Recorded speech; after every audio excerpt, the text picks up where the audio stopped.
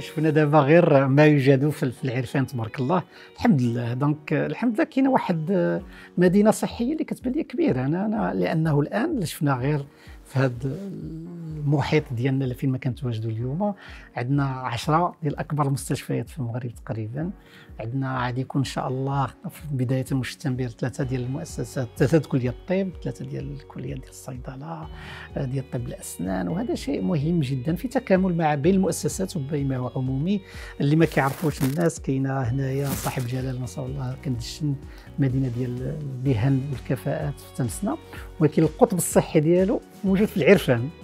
اذا هنا اذا هنا زيادة على عندنا كلية آه، ديال الهندسة ومدارس الهندسة ديال الإحصائيات علوم الإعلام. اذا ملي كنشوفوا هذا واحد مدينة علمية مدينة صحية متكاملة ومع المشروع إن شاء الله ديال المستشفى محمد السادس في العرفان إن شاء الله.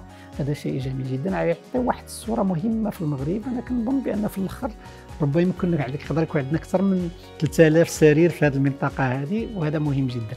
هذا ما كيعنيش بأنه التوجه غادي يبقى غير محلي ولا غير في, في, في, في الرباط ولا في الدار البيضاء. كنظن المؤسسة محمد السادس للعلوم الصحه عندها واحد التوجه جهوي. فيما كاين الحاجة بأنه حنا امتداد للدولة نوعا ما. فيما كانت كاين شي حاجة اللي نقوموا بها للمساهمة بأنه باش توصل إما الخدمة الصحية وإما التكوين ولا البحث العلمي في هذه الأماكن. غادي نقوموا به. العام الجاي إن شاء الله في المغرب كاينة الكلية العمومية ديال الطب في قلبيم كلية الطب في بني ملال كلية الطب إن شاء الله في الرشيدية. والقطب ديالنا زاد اللي هو ديال المؤسسة الداخلة. فكنشوفوها كنعموا التكوين وكنظن أن الجهوية في حد ذاتها تقوم على أساس التكوين. لأن كنظن بأنه كل ما كان عندنا أطباء ولاد المنطقة فغالبا غادي يجلسوا في المنطقة وغالبا غادي يعطوا واحد العناية كاملة للمنطقة. اذا هذا هو اللي أهم. بزاف الناس كيقولوا كيفاش أنه تكون عدالة مجالية. أنا كنشوف في الجهوية وهذا رأيي الشخصي العداله المجالية في ميدان الصحه تقوم على الجهوية.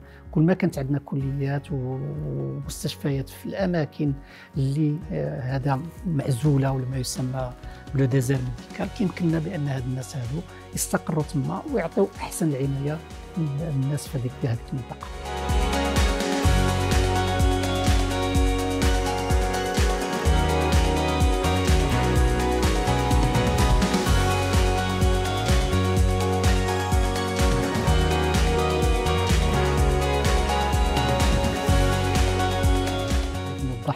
كيفاش جات الفكرة ديال المركز. هو المركز تابع لمؤسسة محمد السادس للعلوم الصحه وهذا صاحب جلالة نصر الله.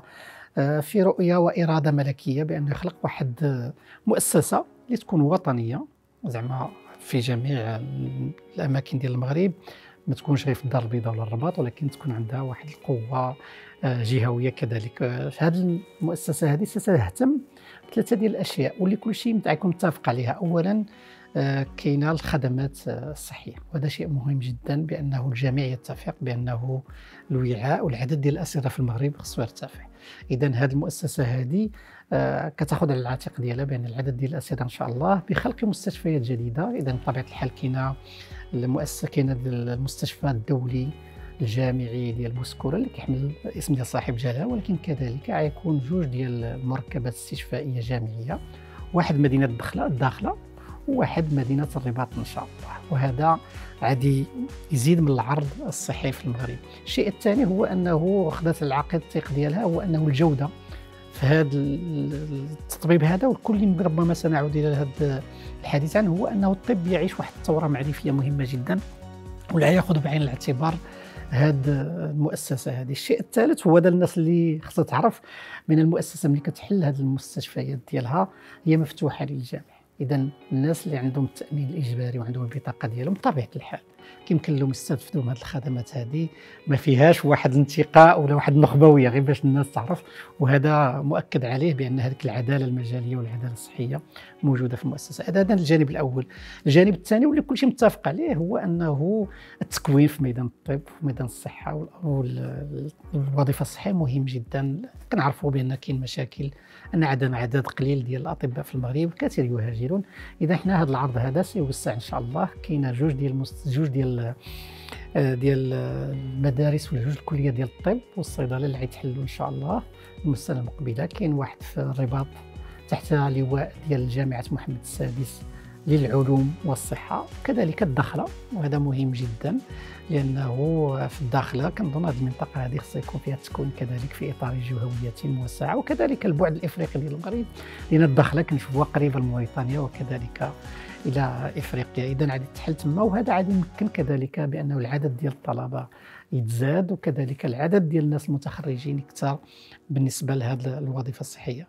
النقطة الثالثة بالنسبة للمؤسسة وهذا هنا كيولي الدور ديالنا هو آه، صاحب جلالة أكد على أنه يكون آه، دور أساسي للبحث والابتكار في هذه المهمات ديال مؤسسة محمد السادس للعلوم الصحة من هنا جا المركز ديالنا الذي يحمل الاسم الكريم ديال صاحب الجلاله اللي هو مركز محمد السادس للبحث والابتكار واللي عاد يهتم أساسا وربما عاد نرجعوا له خلال الحديث أساسا على هذا الجانب هذا البحث والابتكار في داخل المؤسسة. غير الهدف ديالنا من خلال هذا الإحداث ديال هذا المركز وكذلك الأيام العلمية هو نقولوا بأن إحنا موجودين كاين واحد واحد الحس بأن نفتحوا هذا المجال هذا لأكثر عدد من المغاربة وجميع الأطر الصحية وناس البحث العلمي. يعني الانفتاح على المحيط الوطني والدولي مهم جدا. ما يمكنش شخص واحد ولا مؤسسة واحد تقوم بديك الشيء ولكن إحنا الدور ديالنا كمؤسسة تحمل الاسم ديال صاحب الجلاله إن شاء الله. نتمنى أن تكون عند الثقة المولوية وبأنه نحقق الكثير من هذه الأهداف اللي سطرناها